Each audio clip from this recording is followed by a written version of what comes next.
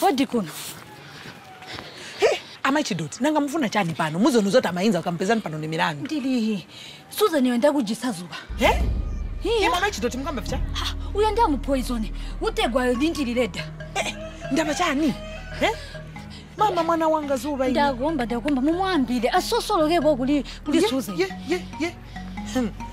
lekani mpomwagwira ntchito amayi nimutumira manje manje apatikanje penigule eh, doctor ino mwagwira ntchito amayi ndainka. Eh, eh. Hey. Huyo jamani ana mfwito wa mai wake. Eh?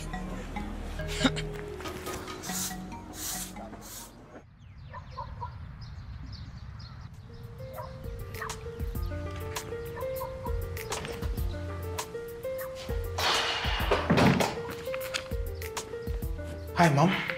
Hey, Joshua. You know, I was thinking, Mm. having Nico here is really a noble gesture. I think you did very well. I'm glad you've started saying things like that, at least correctly. I'm not growing any younger, Mom. And that's why I have decided to, you know, explore the avenues across the world. Okay. I intend to have a business trip to India on Friday. India. What's in India? Mom, you seem to have missed the part where I said I am beginning to explore other avenues across the world. There's a potential investor for Sosala Fashion House. But don't you think this is short notice, Friday?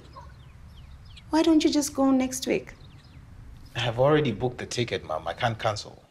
I like it when you do things like that, but I would rather I'm consulted first. I am not the only one with that regard, Mom. You do know this. I mean, it's not like you consulted me to have Nico here. Wait a minute. I thought you said you. Am I misunderstanding you or you're simply contradicting yourself? I thought you said you like the idea of Nicole being here.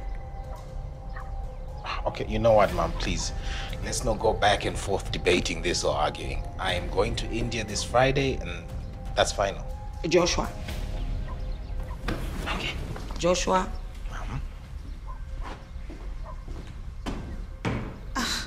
Like seriously?